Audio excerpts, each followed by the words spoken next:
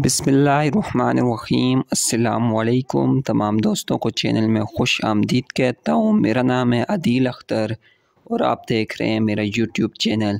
आज की इस वीडियो में हम गजवा अहद के मतलब कुछ अहम सवाल जो कि अक्सर टेस्टों वगैरह में पूछे जाते हैं, वो स्टडी करेंगे।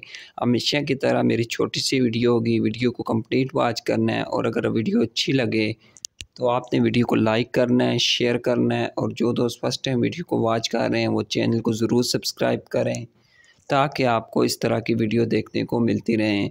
तो फ्रेंड्स, वीडियो को स्टार्ट करते हैं। फ़र्स्ट एम सी क्यूज़ है, गजवा उहद में करेश का सरदार कौन था? तो इसका करेक्ट आंसर है अबू सुफियान। नेक्स्ट क्वेश्चन है, गजवा उहद में कफ़ार की तादाद कितनी थी? तो इसका करेक्ट आंसर है तीन हज़ार। है नेक्स्ट क्वेश्चन है, गजवा ओ डैश हिजरी में हुई तो इसका जो करेक्ट आंसर है, वो तीन हिजरी है, जबकि गजवा बदर दो हिजरी में हुई थी। नेक्स्ट क्वेश्चन है, गजवा ओद का वाक़ डैश शवाल को पेश आया, यानी सात शवाल तीन हिजरी को जो है, गजवा ओद की जो जंग थी, वो लड़ी गई थी। नेक्स्ट क्वेश्चन है, गजवा ओद में डैश के करीब सहाबा कराम शहीद हो गए थे। तो सत्तर के करीब जो है सहाबा कराम गजब ओद में शहीद हुए थे। नेक्स्ट क्वेश्चन जो कि अक्सर पूछा जाता है कि वो कौन सी गजवा थी जिसमें हजूर सल्लल्लाहु अलैहि वसल्लम के दान शहीद हुए थे? तो गजब ओद जो है इसका करेक्ट आंसर है। नेक्स्ट क्वेश्चन है कफ़ार ने डैश की सरबराही में घाटी की तरफ़ हमला किया था।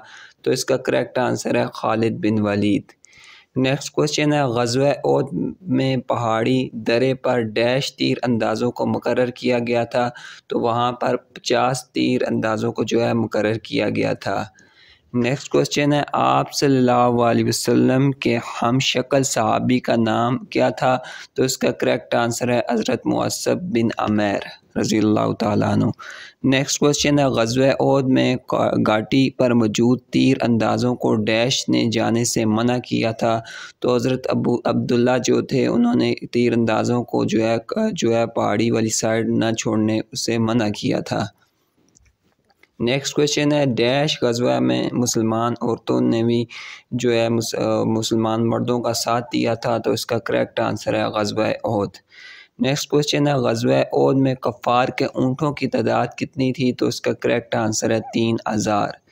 नेक्स्ट क्वेश्चन है गजवा ओद में कफ़ार के घोड़ों की तादाद कितनी थी तो इसका करेक्ट आंसर है दो सौ। नेक्स्ट क्वेश्चन है गजवा ओद में मुसलमानों की तादाद कितनी थी तो इसका करेक्ट आंसर है सात सौ।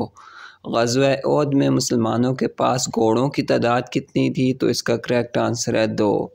नेक्स्ट क्वेश्चन है ओहद का पहाड़ मक्का से कितने फासले पर है? तो इसका करेक्ट आंसर है तीन किलोमीटर।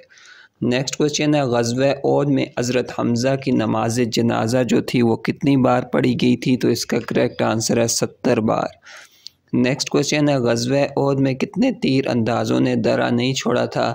तो दस, तीर अंदाज पचास में से रह गए थे जिन्होंने अपनी जगह नहीं छोड़ी थी। उम्मीद करता हूँ दोस्तों आपको वीडियो पसंद आई होगी। अगर वीडियो अच्छी लगी है तो वीडियो को भी लाइक, शेयर और चैनल को सब्सक्राइब कर दें। वीडियो देखने का शुक्रिया। Thank you very much.